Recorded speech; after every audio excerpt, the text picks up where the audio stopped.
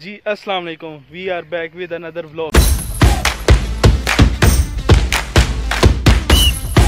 कैसे हम सब ठीक है? मुझे देखे सब खैर खैरियत से होंगे। चलें जी, आज का व्लॉग करते हैं स्टार्ट अगर अभी तक आपने मेरे चैनल को सब्सक्राइब नहीं किया तो जल्दी से चैनल को सब्सक्राइब कर आज मैं आपको विलेज साइड का टूर करवाऊँगा। यहाँ काफ़ी आबादी हो गई है। इसे गाँव तो नहीं कह सकते, क्योंकि अभी ये साइड काफ़ी डिवेलप हो चुकी है।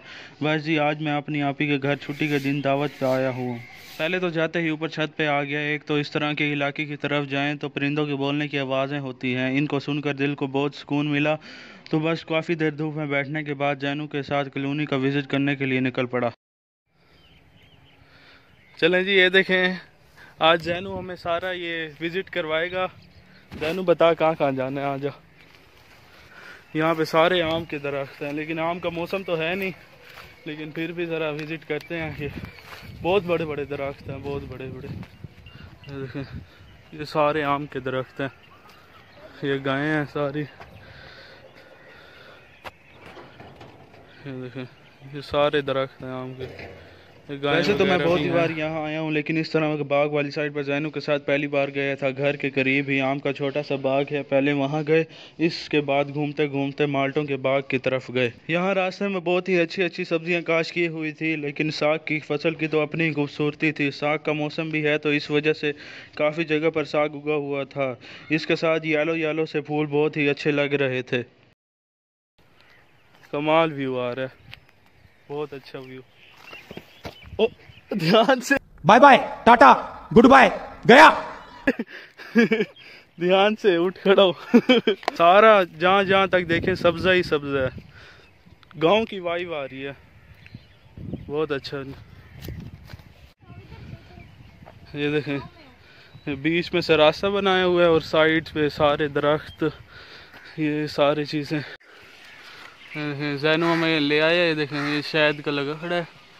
ये ये ये लगा खड़ा है। शहद का छत्ता लगा खड़ा है। बीच में मक्खियाँ तो नहीं है ना? हाँ बीच में मक्खियाँ नहीं है। शुक्र है मक्खियाँ होती तो हम यहाँ पे खड़े होते हैं ऐसे।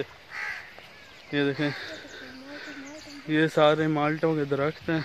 ये देखें जूम करके दिखाते हैं। और छोटे साइज़ के भी नहीं है बड़े बड़े साइज़ के फुल। सारे हम बीच में से गुजर रहे हैं। ये सारे माल्टे के दरख्त हैं।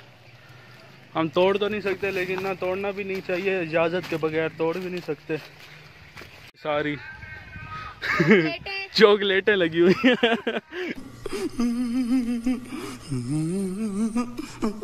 रास्ते में बहुत से जगह पर लोगों के जानवर वगैरह खड़े हुए थे। यहाँ पर गायें वगैरह चारा खा रही थी। चलो जी ट्यूबवेल के करीब पहुँच गए हैं। वैसे मैं दो तीन दफ़ा नहाया भी हूँ। लेकिन ना, बहुत बड़ी ट्यूबवेल आपको दिखाते हैं अब। यहाँ से चढ़ते हैं।